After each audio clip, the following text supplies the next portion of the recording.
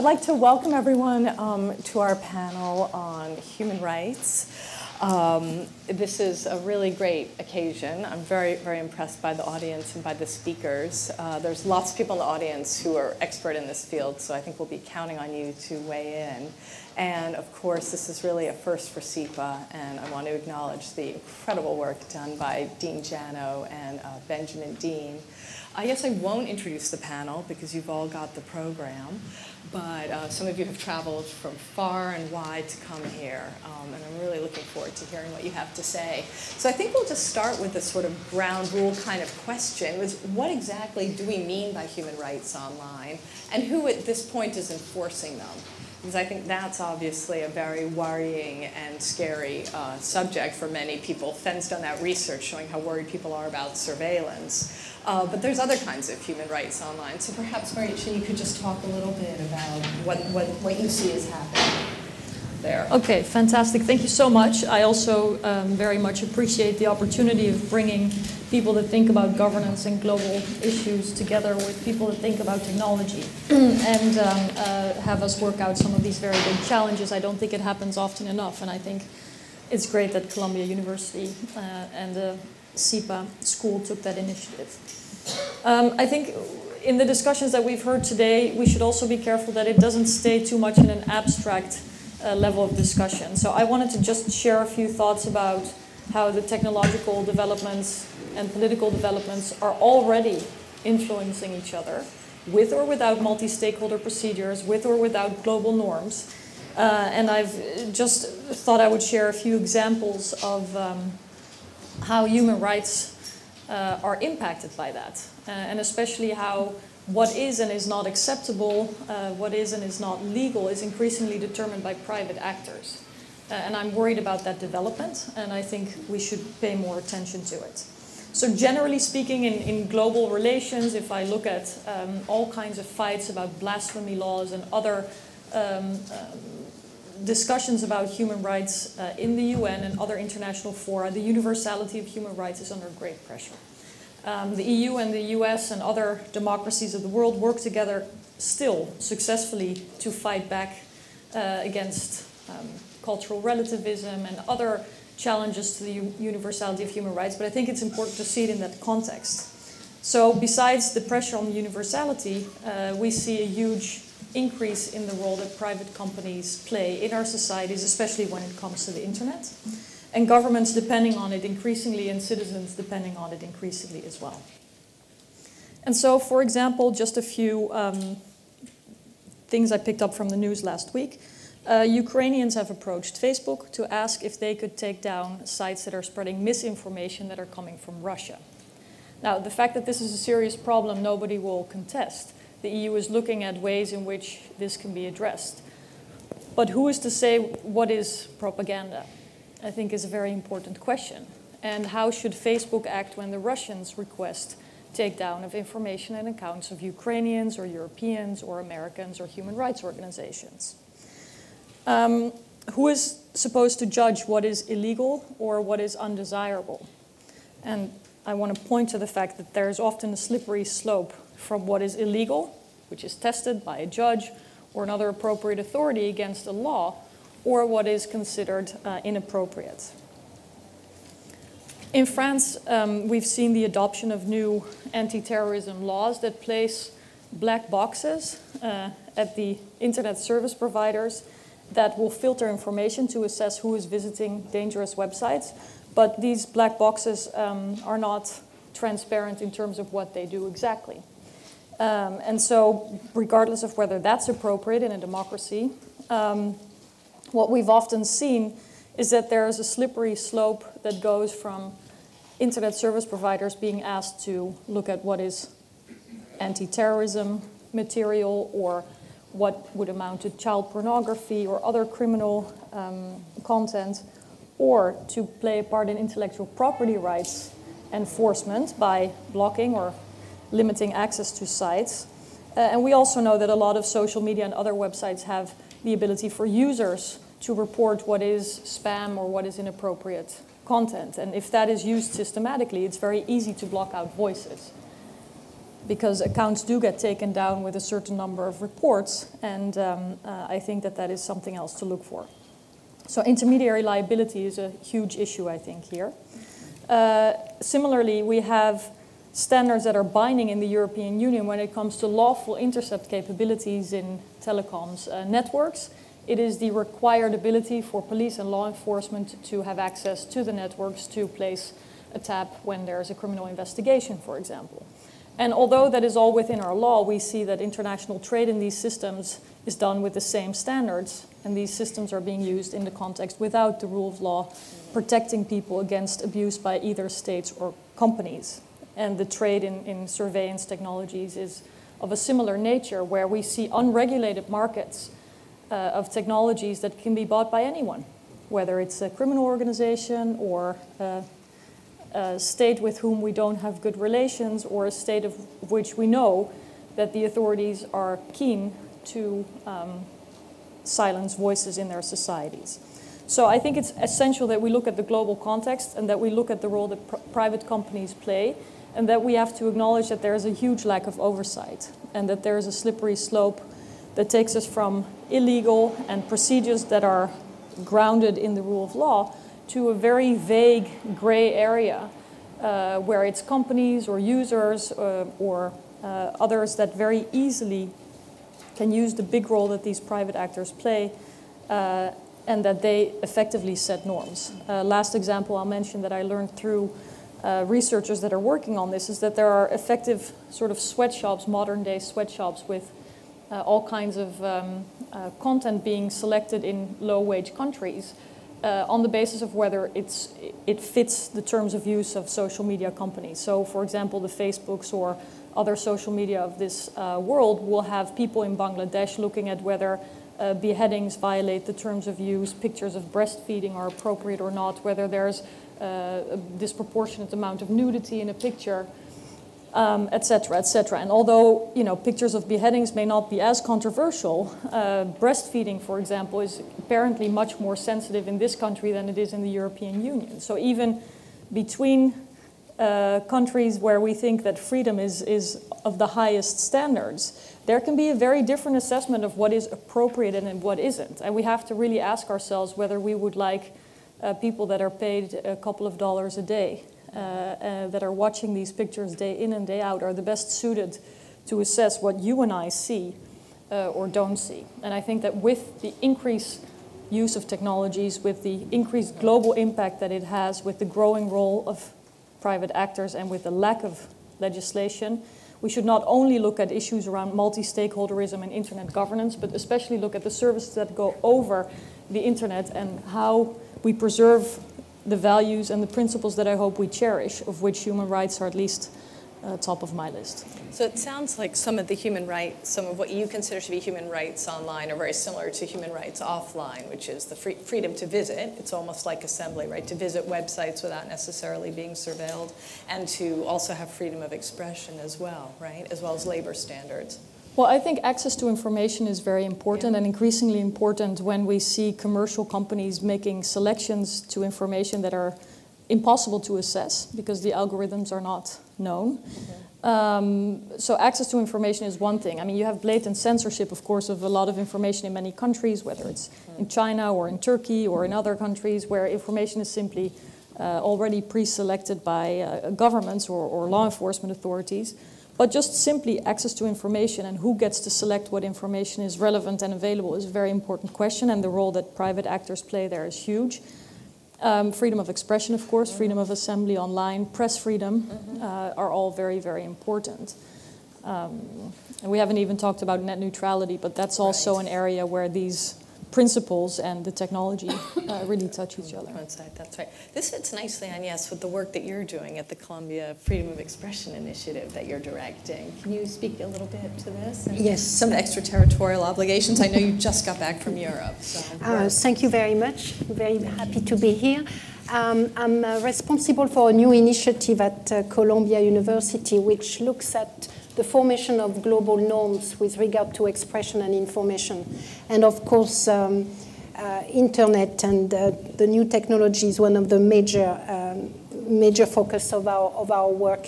We're particularly looking at the role of courts, tribunals, judges, and juries uh, in um, producing norms, domesticating norms, contributing to norm setting at a, uh, at a global level. But I, I won't talk, um, I, I, may go back to it a little bit. I, I wanted to also um, link, um, uh, to respond to your question, Anya, about mm. the uh, human rights and, and its enforcement in, in the online world. Uh, first of all, with regard to, um, to human rights uh, and what do we mean by human rights online, of course, we ought to mean in theory that they are the same mm-hmm. online and, and offline.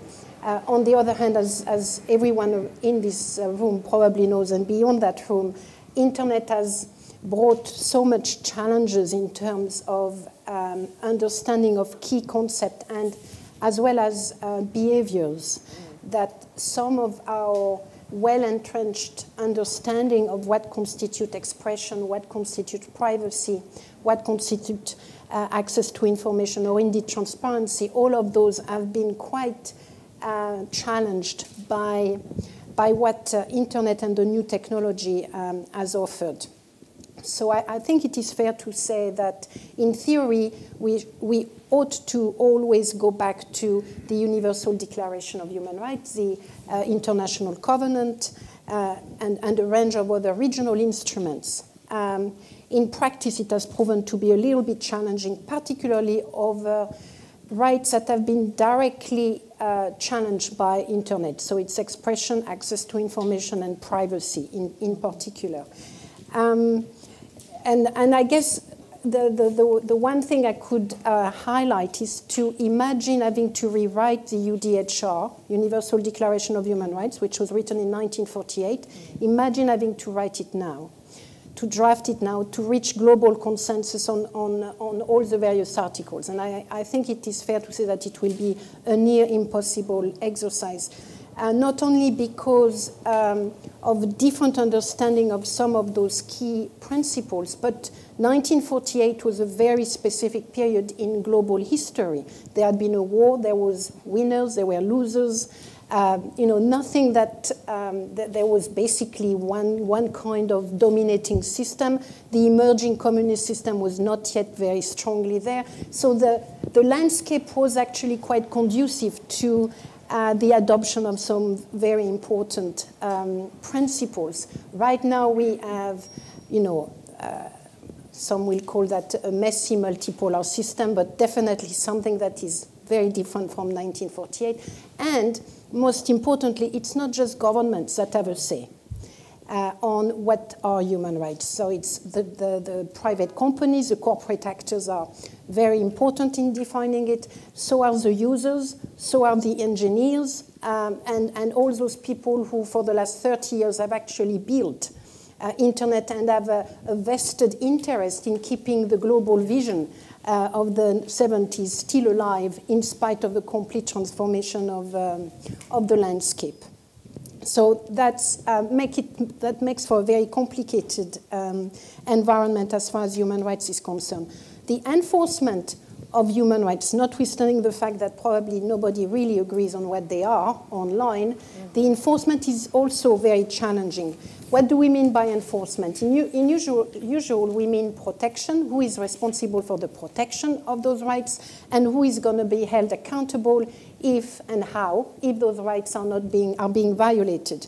So uh, the protection framework is confused and confusing. You know, there are not only governments, uh, the government of your own jurisdiction um, is usually primarily a concern with the protection of your human rights. But here we are in, an, in a world where my right to expression, my right to information, my right to privacy may actually be violated by a government with whom I have no contact whatsoever. Uh, it could be Chinese, it could be American, it's usually one of those two and maybe a, a few mm-hmm. others mm-hmm. uh, for a variety of reasons that I think uh, Edward Snowden has as well highlighted when he uh, put forward the, the revelation that he did.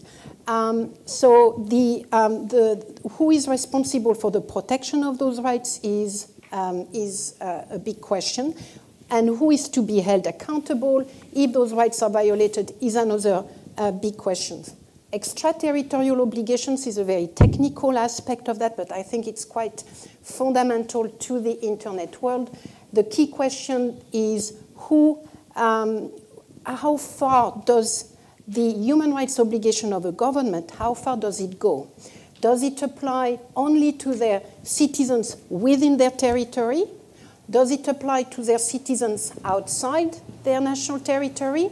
Does it apply to non-citizens, but some, somehow non-citizens with, with whom the government has some kind of relationship, a prison, for instance, being a starting point.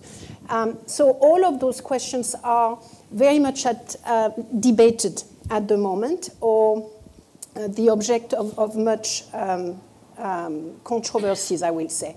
Um, the, the American uh, position is that the, um, their, their extraterritorial obligations uh, does not apply with respect to individual under their jurisdiction, but outside the territory.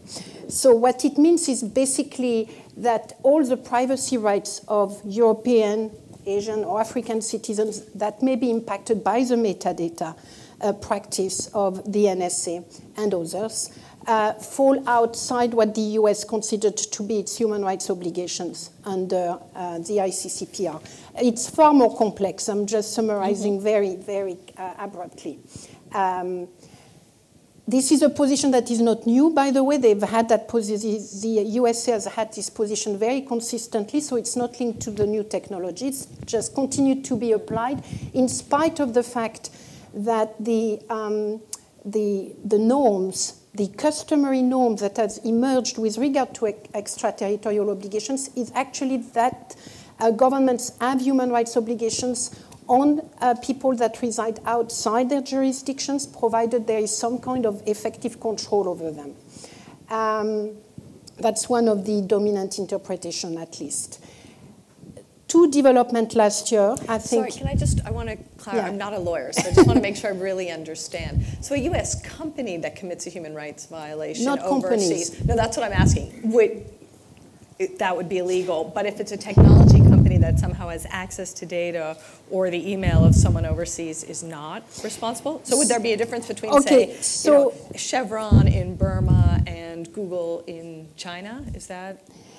So the, the yeah, I, am going to clarify. The, um, we, first of all, one, one point to make is that the US position may not always be completely um, systematic, shall we say. So, you know, this, uh, just the speaker before uh, this morning, um, just before our session, was talking about the fact that there seems to be a fairly big margin of appreciation on the part of the United States as to when they're going to call on some of their uh, extraterritorial obligations. So this is one, one example. For instance, the, um, the, the US is ordering Microsoft that is located in, in, um, in, in Ireland to hand over the email from an individual who I don't think is American, but uh, the, that's a question mark. I think there was an anonymity issue um, because a company that is based in the United States, incorporated in the United States, should be able to hand over those data wherever the data is located. Mm -hmm. That's because the relationship that the US has with Microsoft is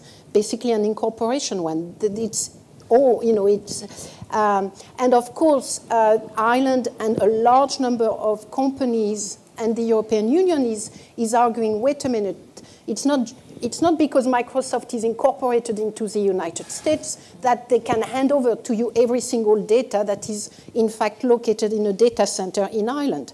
There needs to be a little bit more, you know, it's got to be more complicated. The, the US is probably, I haven't read the, the brief from the US, but I'm assuming that based on their long-standing um, approach, because the, US, the uh, Microsoft is a US company, mm -hmm. is therefore within their jurisdictions, they should be able to claim uh, those data without having too many uh, hurdles being placed upon them.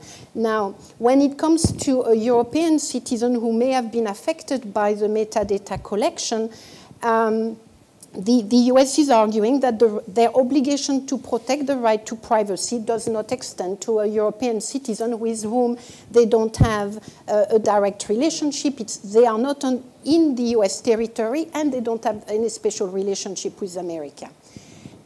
2014 was very important because uh, the United Nations issued yet another report, but fairly important, on uh, the right to privacy and that included um, uh, an, an, appreciation and a definition of what constitutes uh, extraterritorial obligation.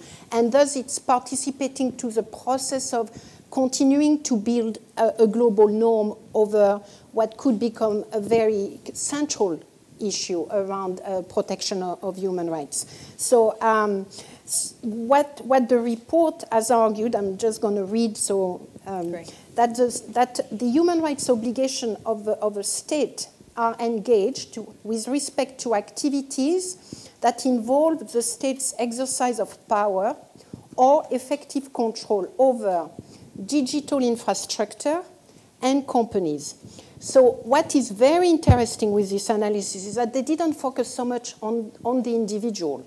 They didn't focus so much on where is the, the, citizens or the individuals located. They focused instead of the relationship that these individuals may have with the United States through the um, basically all of those big infrastructures that are making internet a reality and the private companies that are also making internet um, a global a global thing. And I'm going to quote here the um, NGO Privacy International that was very involved and had done a, a fairly thorough analysis of this report, uh, which uh, they have really said this, this is a game changer in, in, in terms of how extraterritorial obligations is being analyzed in a way that is really protecting the values at the heart of the human rights vision, but adapting those to the new environment. And it's an environment driven by private actors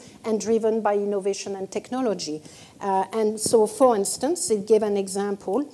If a state has control over an undersea cable or over a company residing in its jurisdictions, it has therefore human rights obligations that are passing through those cables or handled by that company.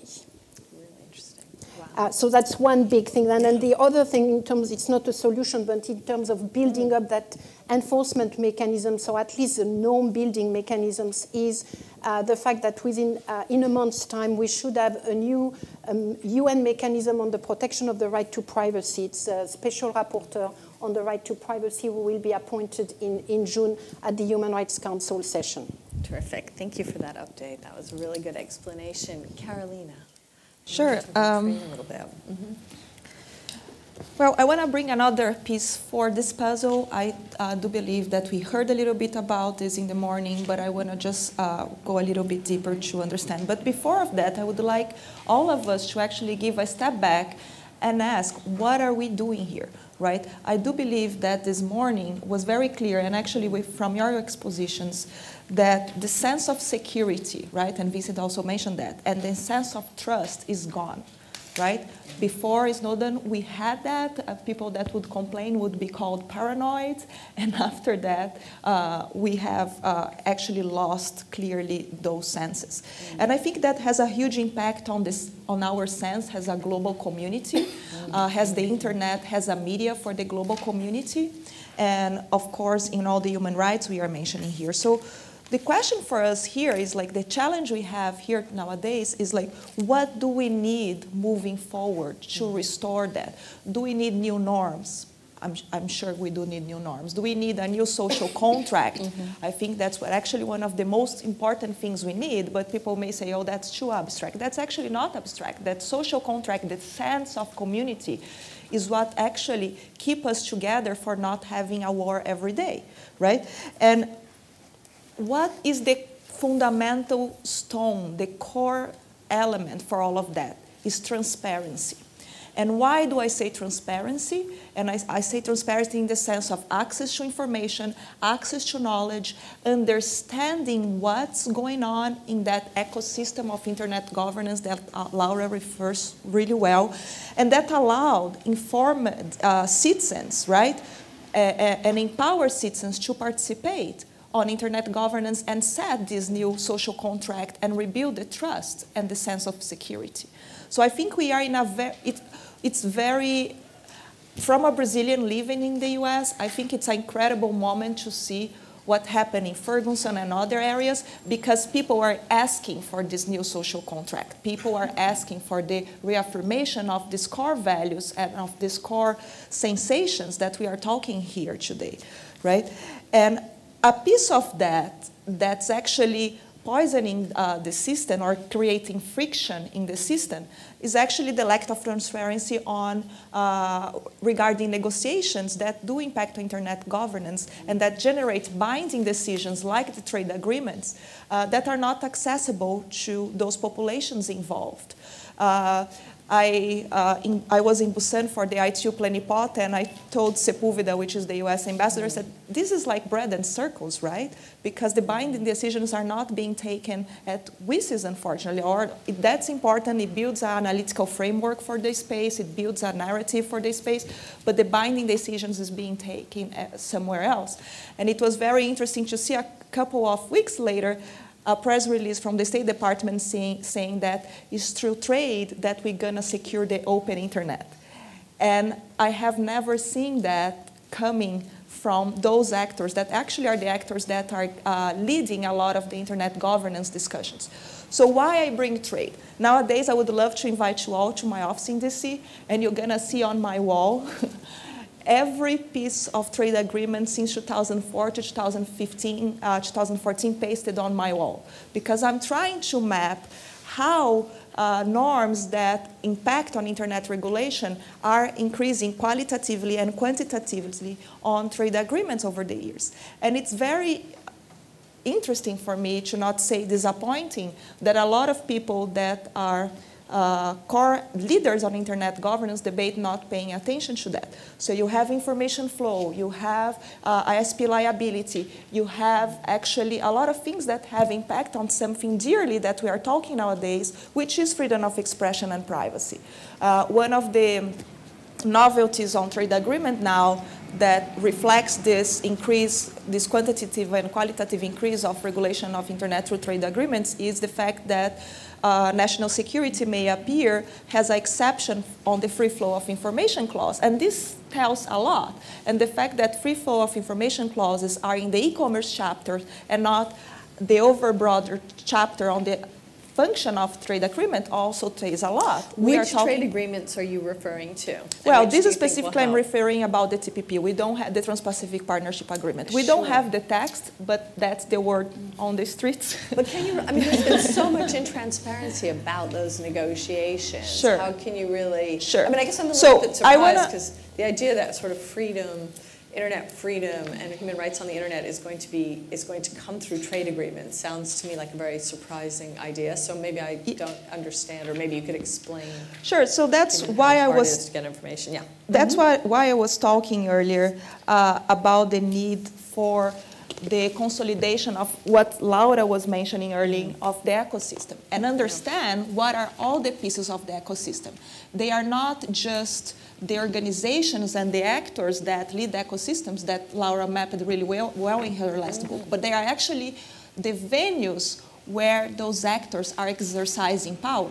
One of the venues besides UN, besides the ITU, it, uh, are trade agreements, right? Since uh, uh, uh, I'm, I'm starting mapping in 2004 uh, some trade agreements, so since the, they are well, what are trade agreements, right? They are bilateral or multilateral international agreements that make international law and are binding to the countries. Of course, the countries have to approve them through a internalization Congress process, and then they become law in general at the federal level. So that's what a trade it's agreement. Not going too well in this. Well, we so can there is a democratic process that plays an important role, I think. Yeah, exactly. And that's, that, that's one of the things I'm talking here, right? We need transparency to rebuild, going back to my core message, security and trust, Yeah. because the base of democratic systems is accountability, right? Mm-hmm. Is that information, right? And to build some of the norms uh, through secretive, uh, secretive negotiations can impact that. And I understand there are national security reasons, but what is the balance when Europe actually can share some of the documents on the TTIP, which is the it's, which is another trade agreement where Europe and the US is involved, and US do not. But uh, I don't want to enter too much on the transparency of the TPP per se, because that's not the point here. The point is really this bigger point of the core values for this social contract to restore security and trust. And freedom of expression is the core for all of that, right? If you don't trust, if you don't uh, reaffirm uh, uh, your right of freedom of expression and freedom of spe- speech, you may not have justifications to even fight for access to these other documents and to these other venues. And it's really interesting. Yesterday, Chu, which is the uh, House representative from California, she's House, right, not Senate, she just uh, uh, proposed a bipartisan bill on uh, the Free Speak Act. So it's really interesting to even see that nowadays we still need new bills and new laws to reinforce that right in U.S., which is the House of Freedom of Expression and things like that. And and one of the things I do, a, proposal that we have has uh, civil society and in, in a lot of coalitions we are part of, is to actually develop something concrete. So it's a human rights assessment framework for trade agreements and other things that impact on freedom of expression, right? So we are building out of the Frank La Rue 2011 report to really extract what is some form of an index or something from there and to say, can you countries access when you're going to implement the trade agreements through, your, through uh, national legislation, how that's going to impact in, normal, uh, in human rights, and specifically freedom of expression and privacy, and then can you, we deal with it objecti- objectively, because a lot of people think human rights is something that's extremely abstract. And actually you have a lot of instruments of assessment. Assessment uh, was already made on environment issues, on climate issues, on works rights issues by the uh, UN Commission on Human Rights. So those mechanisms are in place and are very concrete. Um, and I think this is really important because if we lose, if, if, if US lost, but if he doesn't rebuild the, the, the power, the power narrative of the freedom, right, who are we gonna lean on to build? Uh, US, UK, and even Brazil, right? Uh, we need to really try to lead on this rebuilding this democracy and this the, the, the, and do not and, and if they don't accept real transparency and accountability i think we're gonna all lose here right we will lose the argument pro a global internet, an open internet, and an internet where free flow of information is one of the core values, right? We do need this, uh, this, this uh, strong democratic countries on the table and leading the debate, uh, uh, and for them to conquest back this uh, uh, uh, position, they will have to put themselves open for accountability based on transparency. So I think it's, it's kind of a circular process uh, to give, be accountable, and then uh, rebuild hegemony so we can actually uh, uh, reinforce freedom of expression now and rebuild this trust and security. Oh, good. Well, that's a bit more optimistic than I was feeling when we started. Well, this otherwise we don't work in civil society, right? Oh, yeah, and Brazil, we need of to be course, is the optimistic, place with vigilant, loads of but optimistic. Terrific. Fen. very much. Uh, it's always uh, somewhat intimidating being a political scientist on a panel with lawyers and legislators. Uh, Absolutely. and the reason for that, uh, I wasn't, I wasn't going to say that, but, um, uh, but um, and, and like most political scientists, I tend to think in a fairly simple-minded view of the world. So uh, you'll excuse me if uh, my comments sound a little simplistic.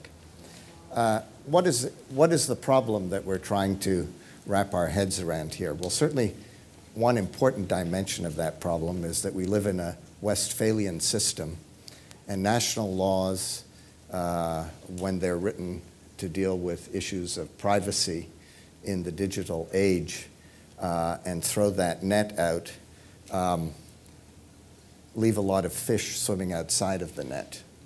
And the fish that are swimming outside of the net are uh, referred to uh, inelegantly as non citizens.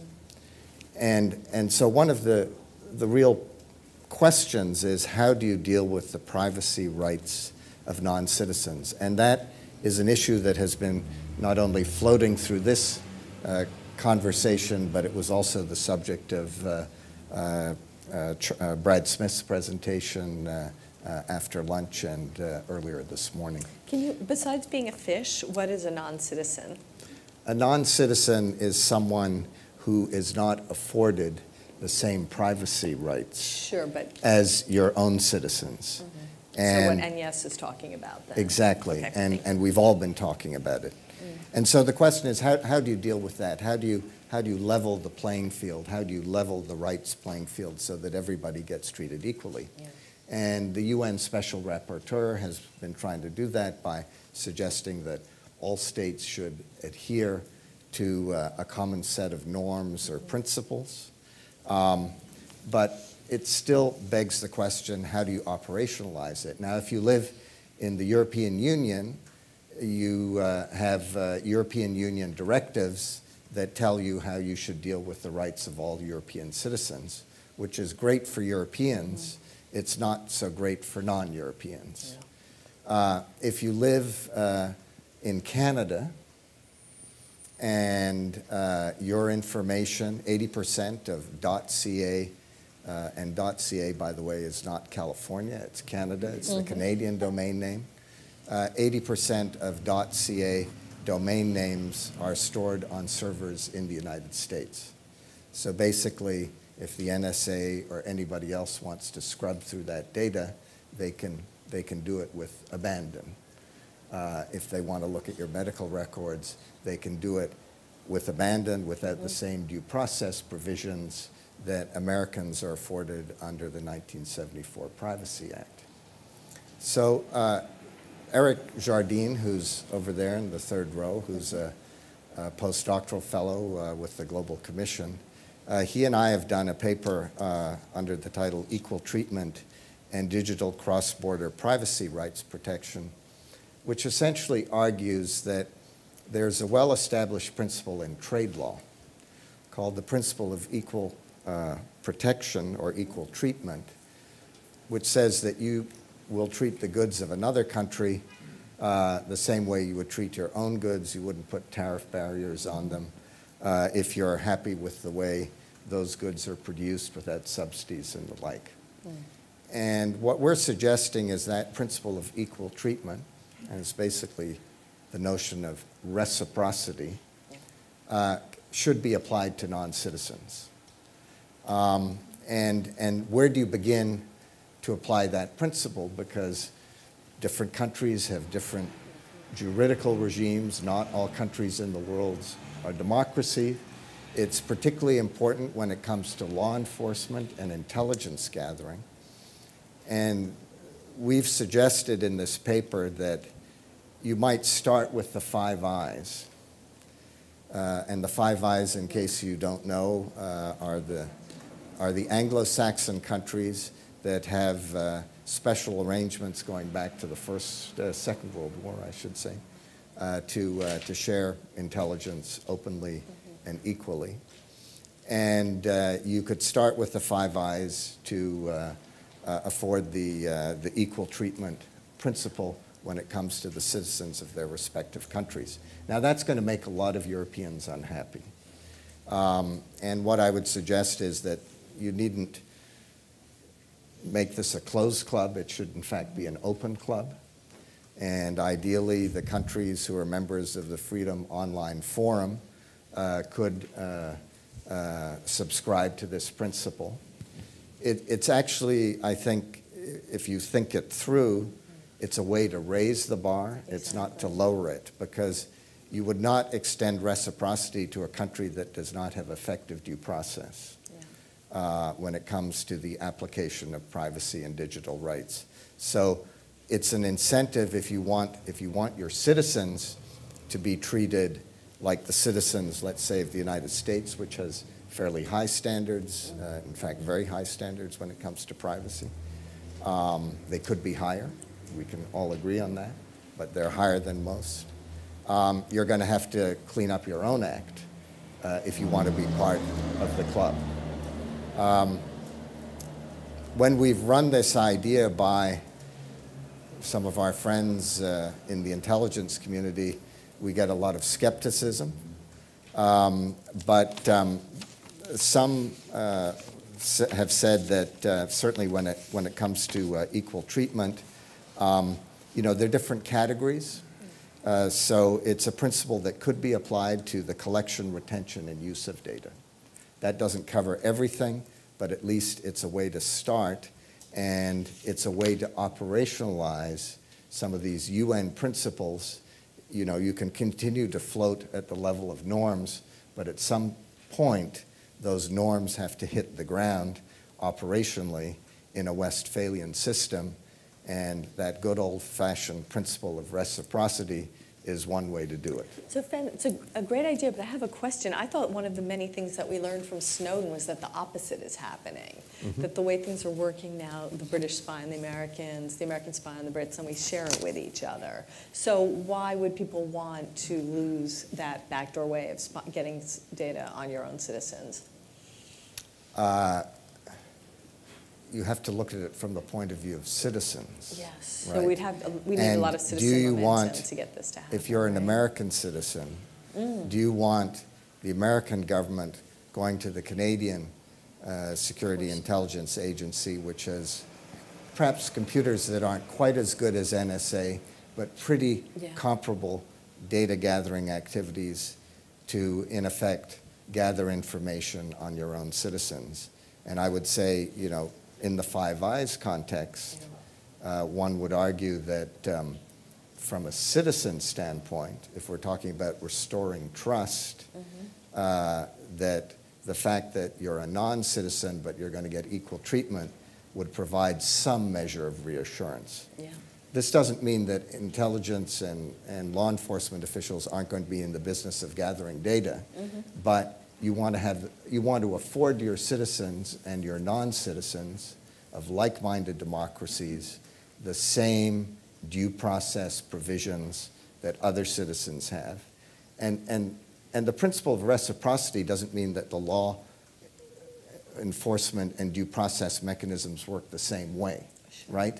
It, it recognizes difference but it's, it says there's essential equivalence here in terms of your due process mechanisms, and we're sufficiently comfortable with it.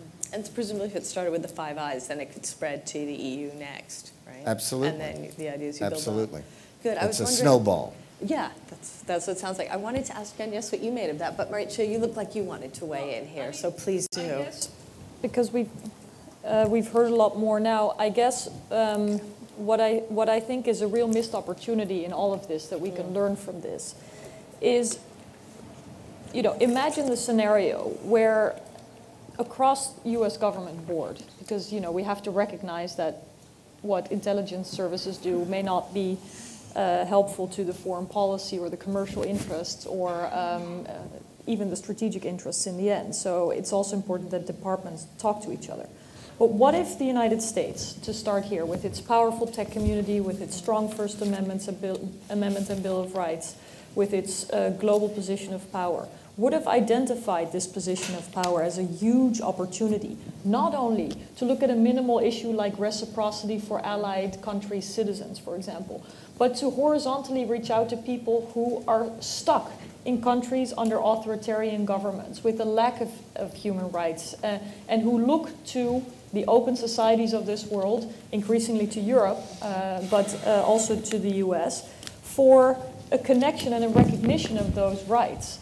Uh, I think what, what has really been a missed opportunity and what I hope uh, will be picked up now and I hope the EU can take a lead in is to see this as a soft power opportunity and as a way to advance people's human rights. I mean, yes, we have to identify the threats to, to human rights, but by and large, the emergence of new technologies has offered tremendous opportunities for access to information, for freedom of speech, etc. And so I hope that in the EU, Uh, there will be the vision, which unfortunately uh, often is, is too uh, restricted, but a, a, grand vision that a strong European single market with strong protection of civil rights and uh, fundamental freedoms is not only a competitive advantage, because you know those can be extraterritorially ap- applied just the same, and I see market demand going in that direction.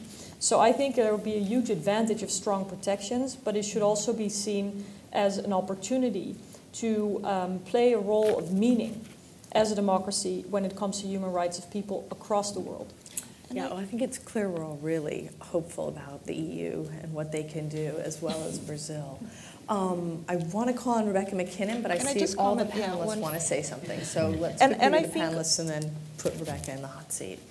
Yes. And I think that what you said actually takes exactly to one of the core points I was making. Until, until Snowden, and, and nowadays I think a lot of you know, State Department do finance a lot of civil society everywhere in the world mm-hmm. on these less democratic countries and also on democratic countries, including in Brazil. Right? Why they finance these folks? To actually fight for a better human rights framework everywhere, including on their countries, but also to actually to act globally. At the moment that the Snowden uh, revelations comes and you lose that legitimacy, people say, "Oh wait, are you saying this publicly, but yeah. are you doing that uh, yeah. privately?" So those folks cannot accept any more financing from State Department and even some philanthropic foundations from US because they're gonna say you are helping surveillance in our countries. So if we don't re reinforce the need of accountability, better processes, reform of privacy laws in US, uh, application cross-border, I am, uh, I am a citizen for that, for that application because I have a, a, green card here. But a lot of people that come, go and come back are students. You guys are not, uh, you are non-citizens here for, for while you are here. So if you don't have that protection, right? And you, if, if we cannot exercise this accountability towards what's happening, US will not restore that ability to actually solidify freedom of expression in-house and outside. Right, well said. Should we do Agnes and then Fen and then Rebecca? Does that sound good? Yep. Okay, great. I was um, gonna um, in, in, um, bring in uh, a fact, factor that we haven't mentioned so far, but I think it's certainly mm-hmm. the um, defining element of our decade, which is uh, national security and uh, uh terrorism and anti-terrorism. I think the, the, um, the suggestion that you've offered or, um, and, and, and, indeed the, the principle that you've put forward are all very well taken. And, and in a better world, I think we would have had some greater chances to, uh, to see them moving forward. I, uh, based on my own work and my own research, I will say that at the moment, the, um, the narrative around national security and the imperative of counterterrorism have infiltrated every aspect of our life, whether it's economic, whether it's political, or whether it's social. And certainly, as far as technology is concerned, I think this is absolutely the driving force at the moment as far as um, the policies on internet regulation and, and so forth.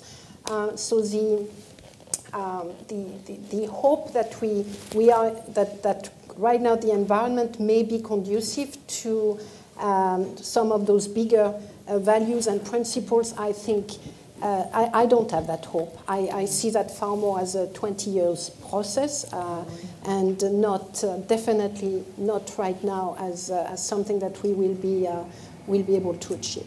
I'm totally with you in the pessimist camp. In fact, our students just finished doing a capstone for access, and the trend that they saw all over the world was more and increased oh, yeah. surveillance laws yeah. everywhere. Yeah. Partly with using terrorism and even Charlie Hebdo as a justification. So I'm definitely in the in the depressed camp. Fen, cheer us up, please. Okay. well, I think you know one one uh, point of uh, of hope uh, lies in the recommendations of the Podesta Commission. Um, which, when it came to uh, uh, the extension of the Privacy Act of 74 to non US persons, uh, stated, quote, where practicable, it, they should be extended. Those provisions should be extended where practicable or to establish alternative privacy policies that apply appropriate and meaningful protections. Um, and I think, you know, that's, that's encouraging, even if it were to be an executive order under a new administration. I think it's not, doesn't have the same force as law, but as we've learned in the United States, uh, it's, a, it's a good substitute um, in, in some cases. Um, the more general point I would make is, you know, before we preach privacy to uh, Chinese and Russians, uh, Western democracies have to raise the bar for themselves. And, and, you know, a good place to begin perhaps is how they treat the privacy rights of citizens of other democracies. Uh, to me, um, that's, that's a no-brainer. Uh, but then, as I said, I'm a simple-minded political scientist and not a sophisticated lawyer or legislator. Well, I was actually at a meeting yesterday with a tech titan who's not American, who sort of laughed at all the Americans at the meeting and said, you, you're worse off than China, in fact, because not only do you have government surveillance, you have Amazon and Google who know everything about you and they share it with the government. And the Chinese government may be doing a lot of surveilling, but the Chinese companies aren't. So he was very oh. clear. I know, so I'm such a bummer. Rebecca, any but solutions, any policies? That's not Yeah, really. Alibaba, China Mobile, they do no surveillance. Okay, let's hear from you. Yeah, Rebecca. right. Thank Well, you. and in many cases, the consequences are very different. I mean, I think Yeah. we have we That's have to the be very Americans all critical said, of ourselves. exactly. Be very clear. No, we have Yeah. to be very critical of ourselves. China, okay? Yeah, That's what exactly. everyone at the, that's what everyone else at the meeting Exactly, said. I think. That's right. Yeah. Good. Okay, Rebecca, some policy suggestions and solutions? I didn't have my hand up, so I. That's okay. I'm speaking in the next. I know. so, Maybe we can get a uh, preview. I was saving. Oh, sorry. My sort of things about preparing for that. Yeah.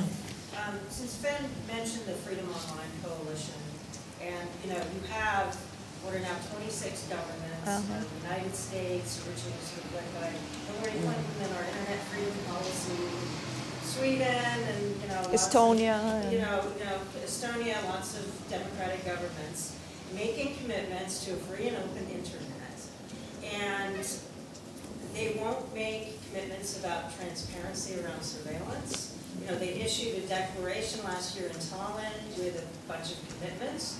None of None the governments have shown any concrete efforts in any kind of meaningful way to meet these commitments, to be more transparent. You know, I mean, yeah, we've got some legislation around the edges and so on, but in, in terms of real commitment to lead the way uh, for how you respect rights online, at least amongst democracies, you know, internet freedom starts at home, they're not doing much. Um, And there, I, I think that, that we need to see a more concerted effort amongst the world's leading democracies, the democratic governments who claim that to be champions of internet freedom, because, as several of you were just saying, internet freedom is on decline around the world. If you look at Freedom So- House uh, reports, Yeah, I have if the you data look here. At kind of the statistics of a number of organizations that are measuring this, that are tracking laws. Yeah, 36 Right. had declined from Exactly. 2013 to Attacks on 2014, speech, yeah. Greater, greater, you know, more government intrusion on user data with less, you know, less protections. More people dying. More liability for intermediaries, more power of the government to get, you know, companies to take down content. You know, that is the global trend. Yeah. Um, and the, the world's leading democracies are not doing much to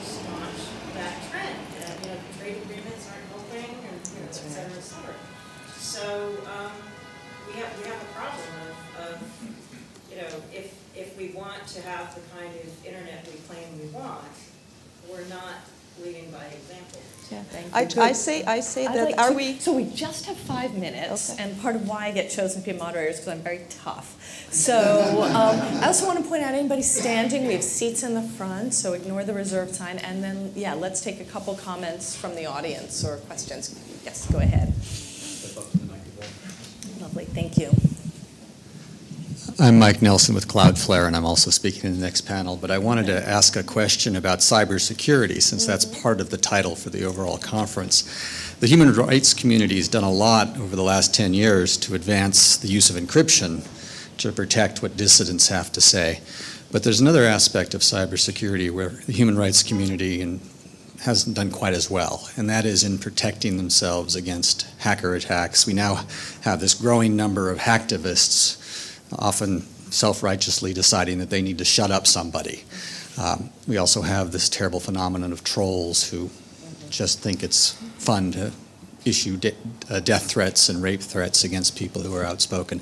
I'm curious if any of the panelists have ideas on how we can help ensure that the best technology is available to people to protect their freedom of speech so that we don't have governments, hacktivists, just mean, nasty people using hacker tools to shut people up. Yeah. Did you also add yes as well, or On did that- you like Carolina? I, I personally don't think the solution is technological. You know, I'm, I'm, I'm somebody who believes that at the moment the gap between policies and technology is so gap is so large that um, partly it's why uh, we're confronting some of those problems with policymakers running after technology, uh, breathless, uh, and not catching up. So to me, the problem is not new technology to protect. It's uh, better policies and better accountability, both regional, national, and international, to tackle some of those problems. And I will say that as far as the um, hackers attack and the trolls are concerned, most countries have very you know, straightforward laws on harassment and, and, and bullying that should be, at least with the trolls, that should, that should apply. But it's not working.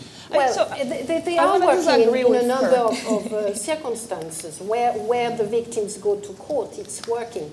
Now, is it catching up with, you know, the, the, the, the number of trolls? And, and the, uh, that's a different question. And do we need different administrative mechanisms to, to handle it? That's something that is possible. But I just don't. I, I, I just don't believe that the response got to be technological. I At least agree with not within yes. Yeah, I want don't to slightly disagree because I think we need to tackle the problem at short term, term, mid term, and long term. At short term, term, people actually do need to learn to protect themselves. And people are dying because of it. Uh, bank accounts are being swiped clean. I had a friend in the Middle East that that happened, so she couldn't travel for a while. Uh, journalists are getting killed because they people and sources are getting killed. So people do need to learn, and for that, uh, there are a bunch of workshops run by civil society in Latin America, for example, exactly trying to train that. And there is a bunch of people doing capacity building around that. In, in long term, then I agree with you, we need that change. But for that change to happen in both ways, we need to unite human rights, lawyers, political science, cybersecurity experts, and build a curricula that's holistic enough to address that issue. It's not like OSF running all over Latin America teaching militaries to do how militaries do things do. No, we need more people at that day. We need a multi-stakeholder curricula to ensure to tackle this problem at short term and long term. Great. So we, I'm sorry to say we have one minute left, speaking of freedom of speech. Uh, so I'm going to give that minute to Fen, I suppose. Sure, if you're looking for some uh, more good news, Yeah. um, uh, Eric Jardine has uh, done a terrific paper, uh, empirical paper, which shows that if you look at attacks of all varieties and kinds online, when adjusted for uh, the number of internet users, it's actually in decline. And that's right across the board. Eric, am I putting words in your mouth, or is that more or less correct? When adjusted for the growing size of the internet, it's only the better situation than we get when we just look at. Absolute numbers, yeah. But the, uh, but in many instances, yes, it's a yeah. Which suggests that people are getting smarter, that the technology is getting better, and that maybe there's less in it for those who are doing it. Good. So on that note, I think this is a wonderful sort of preview of your next panel that we'll all be going to. So I'd like to thank the panelists and the audience. This is uh, terrific. Very. Good.